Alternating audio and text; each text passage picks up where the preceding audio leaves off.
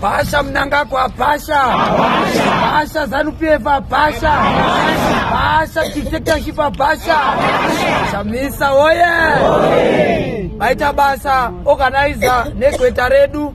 Macitizens thank you very much. Kuuya kwamaita in solidarity. Isu our struggle inooilwa nenyaya yesolidarity tinomira pamwe chete nemacitizens edu akasungwa. Hatibvunduki zanupf inoziva havana kuinasa rudzo havadiwi nevanhu. Chavanoziva kuvatisachera vari kuziziva meseji yangu yekupedzisira. To zanupf and all the headmasters of chaos. Musaprovhoka vanhu.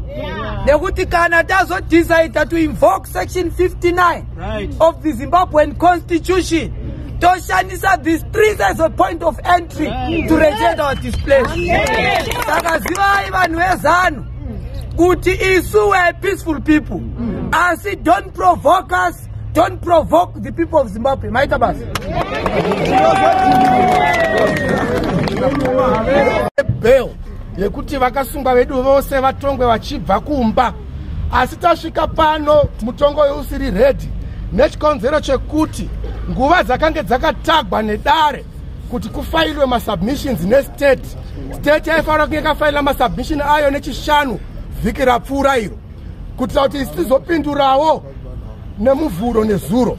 Asi kuzouya kudare state yakanga isati kana vatsvukisi vakanga vasati vafaila masubmissions avo vakamafaila zuro uno masikati kwakuhopa mamwe magweta nhasi chaiwo chaiwo.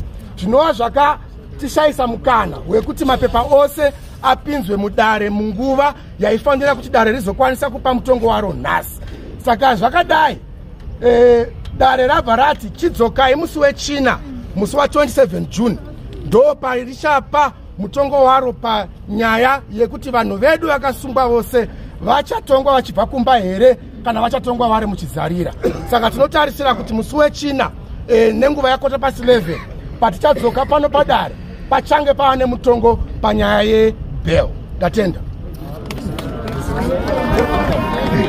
Thank you very much, Chamisa. Oye.